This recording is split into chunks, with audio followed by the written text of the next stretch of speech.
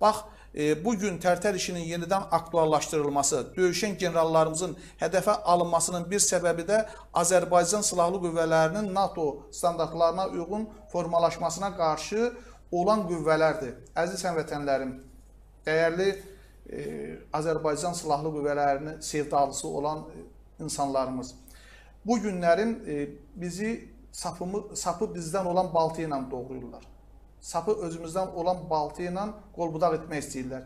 Və bizim ən güclü yerimiz olan Azərbaycan silahlı qüvvələrini, onun döyüşən generallarını gözdən salmaqla e, məkirli düşmən öz məqsədlərinə yetmək istəyir və təəssüflər olsun ki, bu işdə də sapı özümüzdən olan baltalarla yanaşı həm də xeyli sayda insanlarımızı saxta arqumentlərlə, saxta sübutlarla inandırıb bu proseslərdə e, Azərbaycan ordusuna qarşı aparılan bu çirkin kampaniyaya cəlb etməyə nail olublar.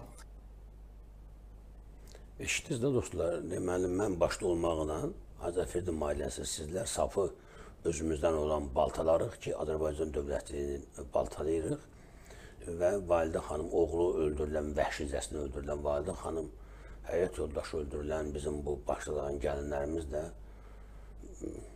məhkəli qüvvələrdir sən demə, ümumiyyətlə tərtər məsələsi yenidən qabardılır, nə deməkdir, nə başa düşdünüz? Nə deməkdir, bunu, bu e, ictimai şura bunlar nə mesaj vermək istəyirlər ki, tərtər məsələsi yenidən qabardılır, özdə bu məqamda qabardılır, nə deməkdir bu? Tərtər məsələsi unudulmalıdır mı? Əsrin cinayəti ört bastırma edilməlidir. Başa düşmədim mən. Siz nə anladınız? Xahiş edirəm, diqqətlə qulaq asın. Siz nə anladınız bu sözlərdən? Ki, tərtər məsələsi yenidən qabardılır. İndi hələ mən sənə, sizə başqa sujetə təqdim edəcəyəm. Mən şəxsən dinləyəndə özüm özümə şübhələnirəm ki, ilahi, mən insanam yoxsa yox, bu eşitdiyim nədir bu? Danışan bu normal adamlar yoxsa yox? Dəli mənim ya bunlardır. İnanın mənə, and olsun Allahım çaşır ki, bunlar nə danışırlar belə? Əsrin cinayəti öz bastırma edilməlidir. Tərtədə o adam günahsız insanlar öldürülüb. Adamlar işgəncəyə məruz qalıb, ailəsi dağılıb, adamlar xədim olub, xədim. Qanırsız yoxsa yox, başa düşürsüz yoxsa yox. Buna necə göz yummaq olur, anlamadım mı? Belə çıxır ki, heç, hətta mən nə, nədən narahatam? Belə çıxır ki, Azərfiridim bu formada biz bu məsələni belə gündəmə gətirməsəydik, stabil olaraq, ardıcıl olaraq gündəmdə saxlayıb Azərbaycan xalqının vicdanını narahat edib, zırmaqlayıb, bu caymaqlarımızla silkələməsəydik, elə bunu götürüb getməli idi. Sanki bir heç nə olmayıbdı ki. Elə bu getməli idi, unudulmalı idi, beləmi? Anlamadım mən.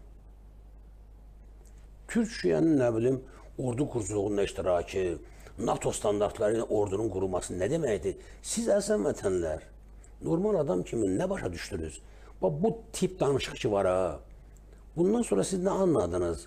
Yəni, nə başa düşdünüz? İctimai rəyə əxlaqa hansı mesajları ötürdülər? Misal üçün, bir adam əgər qəhrəmandırsa, müharibədə iştirak edibsə, çoxlu medalları varsa, nə bilim, İlham Əliyev ona general veribsə, o cinayət törədə bilərmi? Onun cinayət törətməyə haqq çatırmı? Və yaxud da onun bu qəhrəmanlığından əvvəl, əgər qəhrəmanlıq doğrudan da varsa, hələ bilinmir kimdir qəhrəman, tələsməyin. Deyir ki, qəhrəmandırlar. Qəhrəmanlıqdan əvvəl törətdiyi hər hansı bir cinayətin üstü açılsa, o bağışlanmalıdırmı? Ona güzəşmə edilməlidir.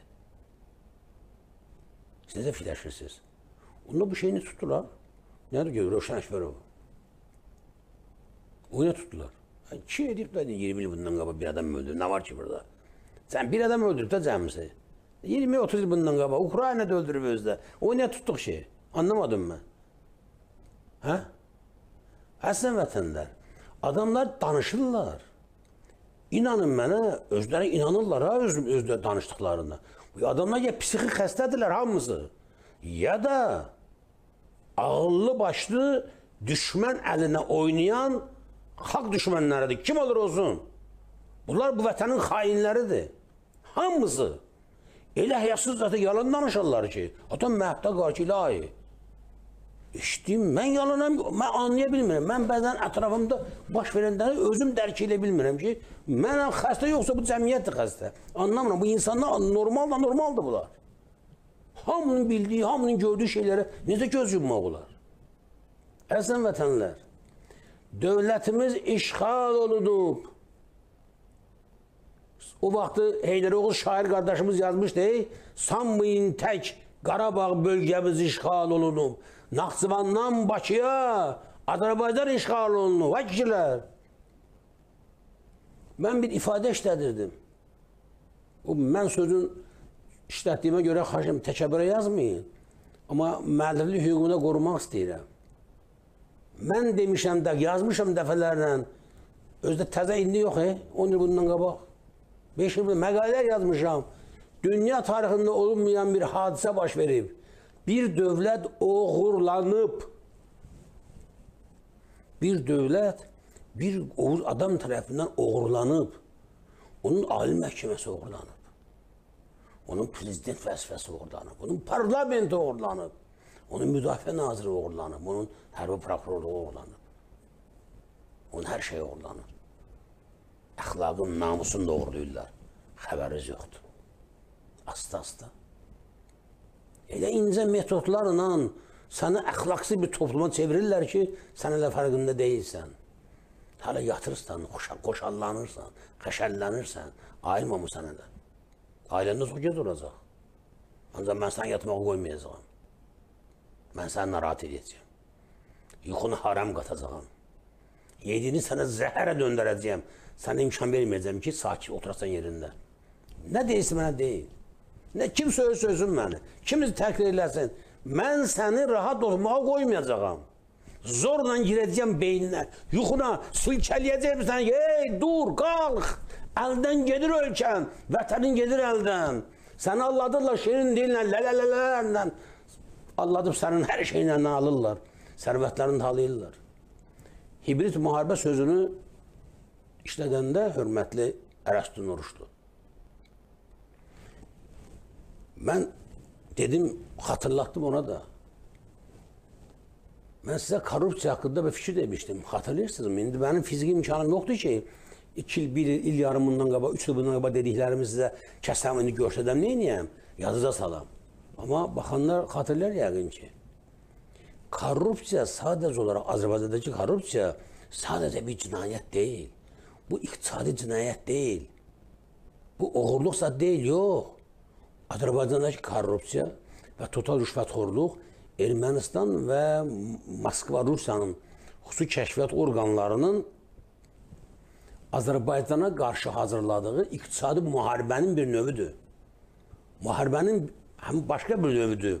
İqtisadi cəhətdən daxildən düşməni məhv edirlər. Biz onların düşməniyik.